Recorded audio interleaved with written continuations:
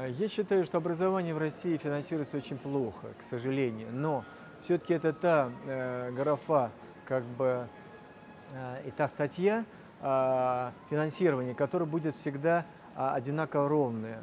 Можно сокращать на обороне, на космосе, на чем угодно, но э, то, что всегда существует э, образование, и оно очень важно для страны, она будет всегда находиться в плавучем, но твердом все-таки более-менее реальном положении.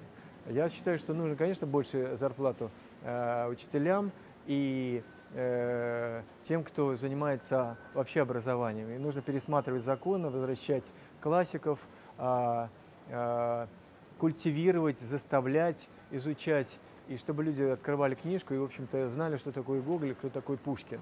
Когда этого нет, к сожалению, и учителя сегодня часто являются а, гастробайтерами, которые просто не могут найти себе работу и начинают учить, плохо говоря по-русски, это не очень хороший а, пример а, для школьников. Поэтому а, в, со- в советское время, а это лучшая была пора, в которой я жил, где было огромное количество важных и ценных вещей, на образование тратились огромные средства. Вся страна была образован- образована, и мы а, э, сделали так, что все сейчас уже страны СНГ, а тогда Советский Союз, были достаточно образованными людьми.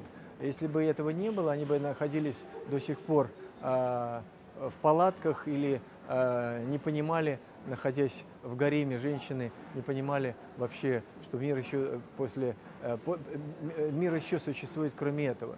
Поэтому образование должно быть очень важной составляющей. Именно сегодня на образование рассчитаны, на культуру рассчитана основа нашей, а, нашей экономики и нашего а, существования в этом мире.